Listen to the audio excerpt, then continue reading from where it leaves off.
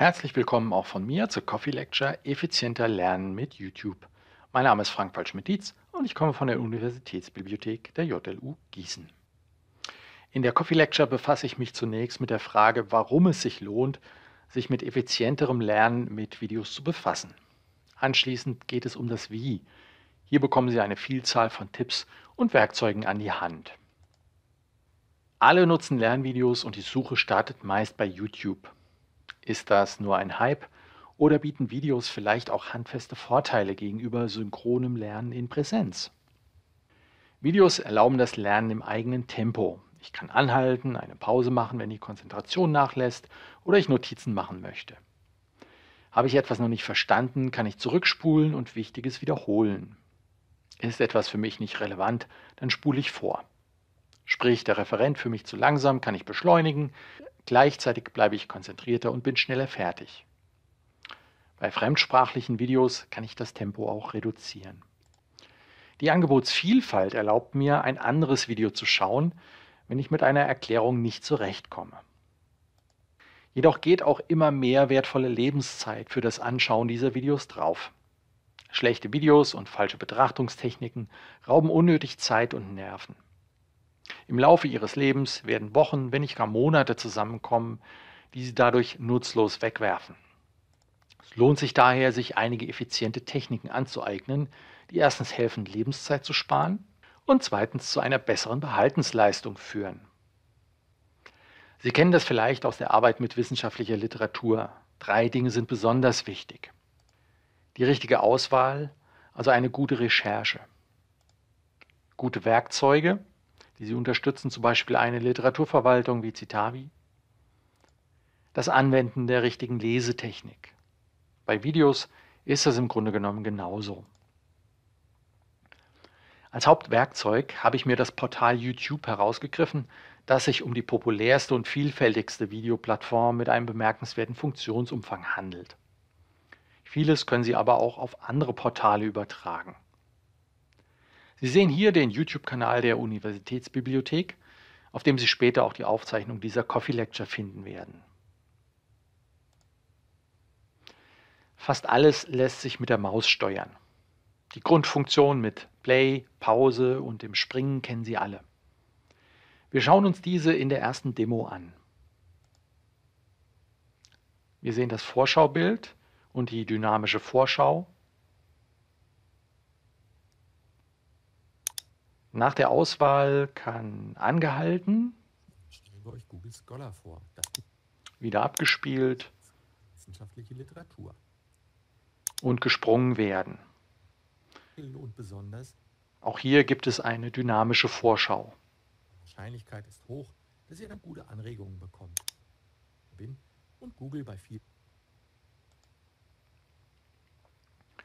Viele Videos stellen auch ein Inhaltsverzeichnis bereit.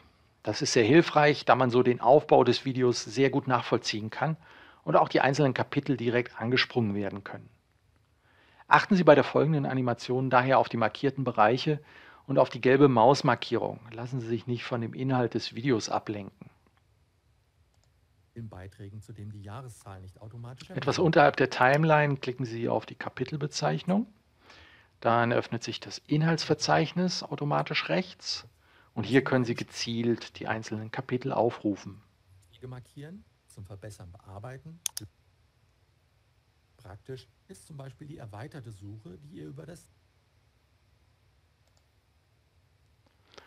Untertitel sind in der Regel in verschiedenen Sprachen durch die automatische Übersetzung verfügbar. Wir versuchen in unseren Videos jedoch auch die Originalskripte bereitzustellen. Insbesondere bei fremdsprachlichen Videos sind die Untertitel eine große Hilfe. Entweder kann man die Originalsprache oder aber die Übersetzung anzeigen lassen. Diese Funktion ist auch von Bedeutung für die Barrierefreiheit des Videos. Sie können den Bereich übrigens auch an andere Bildschirmstellen verschieben und das Layout verändern. Achten Sie bei der folgenden Animation auch hier auf die markierten Bereiche. Wird immer mal wieder verändert. Auch hier finden Sie ein Symbol in der Steuerleiste zum Ein- und Ausblenden. An, wenn ihr die Details im Fenster lesen wollt. Und in den Optionen rechts daneben legen Sie die Sprache Artikeln, und das Layout fest. Stoßt ihr gegebenenfalls in der Ergebnisliste auf einen Profileintrag. Profile könnt ihr aber auch gezielt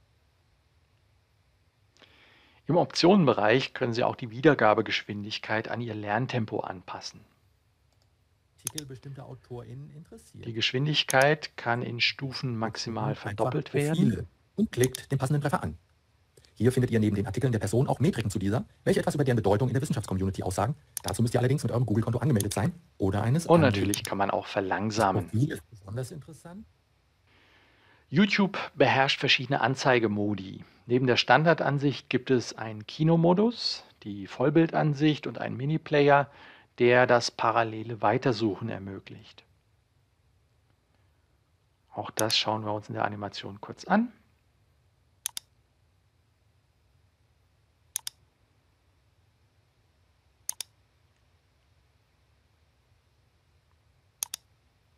Und zurück geht zur Standardansicht. Die Maussteuerung hat auch Nachteile. Die Suche nach der verpassten Stelle in der Abspielleiste raubt Aufmerksamkeit und ist umständlich. Hier helfen Tastaturshortcuts. Die wichtigsten zeige ich Ihnen nun. Mit der K-Taste oder der Leertaste können Sie anhalten und erneut abspielen. Das ist ideal für kurze Nachdenkpausen, um das Gesagte zu verarbeiten. Das Google speziell für wissenschaftliche Literatur. Mit der Nach-Links-Taste springen Sie 5 Sekunden zurück, mit J 10 Sekunden. Vor geht es mit der Nach-Rechts-Taste oder mit L. Halten Sie die Tasten gedrückt, ist es ein schneller Vor- bzw. Rücklauf. Auch für, für die vielen weiteren Optionen gibt es Tastenkombinationen, zum Beispiel für die Geschwindigkeit oder die Lautstärke. Ich habe für Sie ein Cheat Sheet für diese Tastenkombination erstellt, das Sie einfach herunterladen und ausdrucken können. Sie finden es in unserem Ilias-Bereich unter ilias.uni-gießen.de/ub und dort im Ordner weitere Themen. Den Link finden Sie im Chat und später in der Videobeschreibung. Auf Mobilgeräten sind viele Befehle mit Fingertipps bzw. Gesten möglich. Auch dafür habe ich ein kleines Demo. Die Videobeschreibung mit dem Inhaltsverzeichnis kann geöffnet und geschlossen werden. Beim Drehen des Bildschirms öffnet sich das Video automatisch im Vollbild. Und mit mehrfachem Tippen rechts oder links ähm, sorgt man für Sprünge.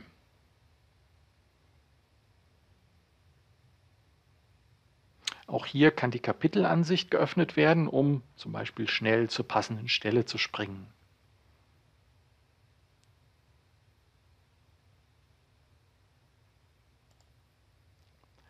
Ein gutes Video enthält eine Videobeschreibung, in der oft weiterführende Informationen oder Quellangaben zu finden sind. Auch das Inhaltsverzeichnis mit den Zeitangaben befindet sich hier, wenn eines angelegt wurde.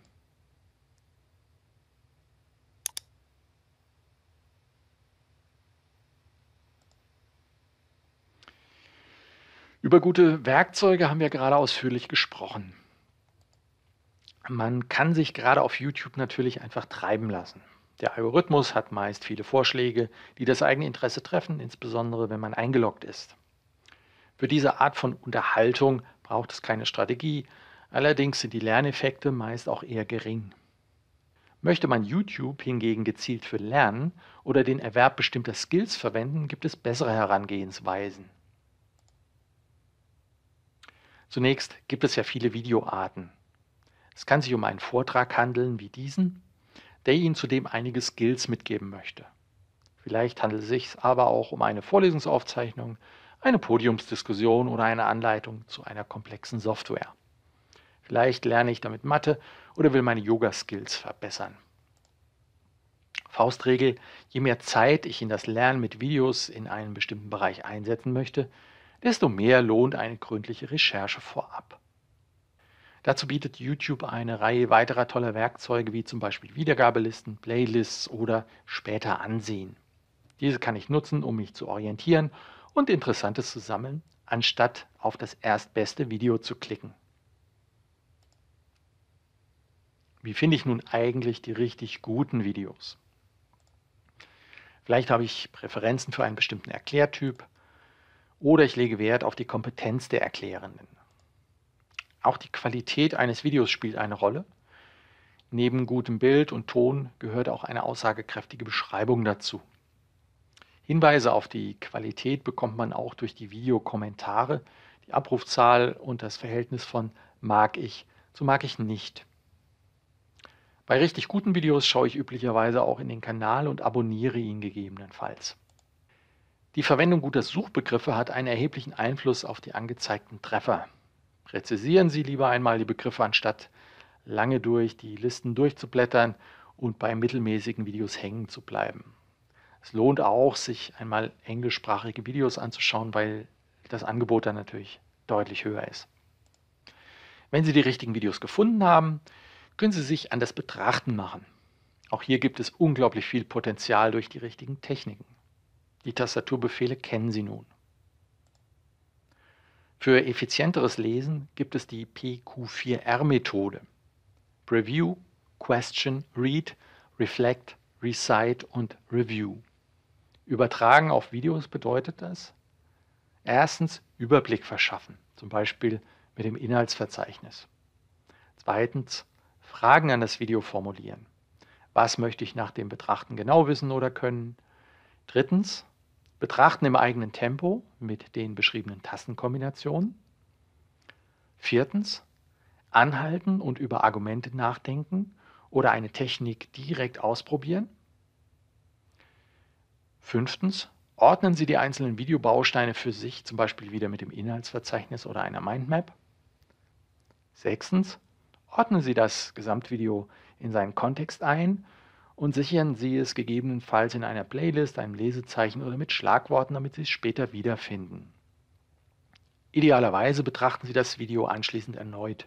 Sie werden sehen, dass Sie bereits viel mehr verstehen als beim ersten Mal. Das dauerhafte Behalten kann nun weiter durch die Techniken des Spaced Repetition und des Active Recall gefördert werden. Dahinter verbirgt sich die zeitversetzte Wiederholung. Vor dem erneuten Betrachten versucht man vorab, sich jedoch an die wichtigsten Inhalte zu erinnern. Ich komme zum Ende. Bevor Sie das nächste Mal auf den Play-Button eines Videos drücken wollen, stellen Sie sich diese drei Fragen. Erstens, ist das meine Lebenszeit wert? Zweitens, wie hole ich das Beste für mich raus? Und drittens, habe ich mir das Cheat Sheet schon an die Pinnwand geheftet? Herzlichen Dank. Fragen können Sie gerne im Chat oder per Mikro stellen, jederzeit im Nachgang auch per Mail oder im Video in den Kommentaren.